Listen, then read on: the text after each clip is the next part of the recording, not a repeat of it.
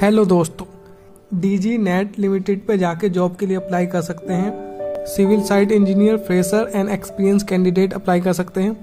Job location है new Delhi Noida Gurgaon number of vacancies है twenty eight B E B tech M tech और graduate civil से apply कर सकते हैं।